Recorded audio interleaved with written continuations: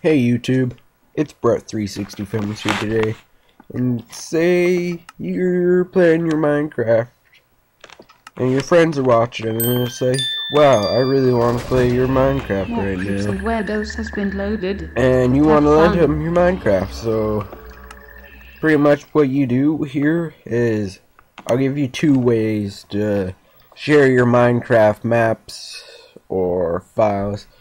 So just go shift percent app data. Percent again. Go roaming. Now dot minecraft. Go to your saves. And say I want to share Brett's world.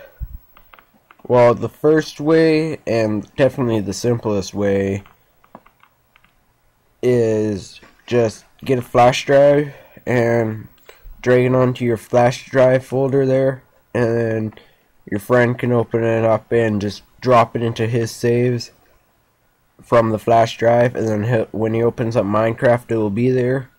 But there's also another way. Meh. Meh. There's tons of websites. Tons of websites that are not spelt like that but Mediafire's pretty much my favorite one. Every time I've used it, it's been pretty good.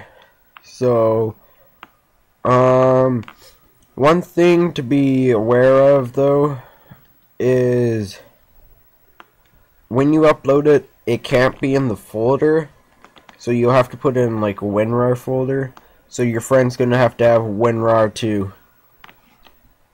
also use to uh, extract it and put it in his thing, which isn't that bad.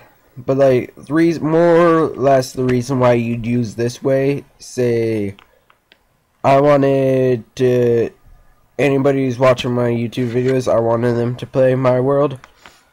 Well, it'd be ridiculously hard and almost impossible to hand everybody a USB with my world on, so I'd use something like Mediafire, and I just put the download link in the description or something, and it would appear when they go there and they download and put it on their Minecraft.